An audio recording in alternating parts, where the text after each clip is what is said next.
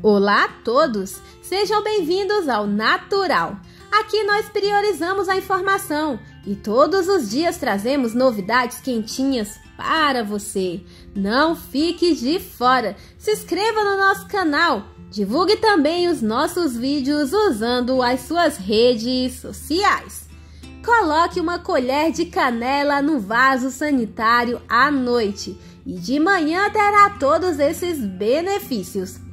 Quando se trata de limpeza, uma das mais difíceis e chatas costuma ser a do vaso sanitário. Ninguém quer lidar com essa parte do banheiro e todo mundo quer limpar o mais rápido possível. Você quer saber como manter o vaso sanitário limpo e longe das bactérias? Continue assistindo esse vídeo. Todos temos vidas bastante ocupadas e às vezes uma limpeza profunda do vaso sanitário acaba não sendo aquela prioridade. Entretanto, o uso frequente do banheiro resulta em bactérias, manchas e até odores desagradáveis. Por isso, deixar o vaso sanitário limpo é importante para a saúde dos moradores da sua casa. Veja agora dicas simples que vai manter o seu vaso sanitário limpo e longe das bactérias. Anote esse passo a passo e chega de sofrer com a limpeza do vaso sanitário. Primeiro passo: lave o vaso com escovinha e enxague. Aplique a água sanitária em todo o vaso, por dentro e por fora. Não aplique na tampa. A água sanitária mal diluída, usada pura ou em excesso, deixa a tampa do vaso amarela, com aquele aspecto de velha.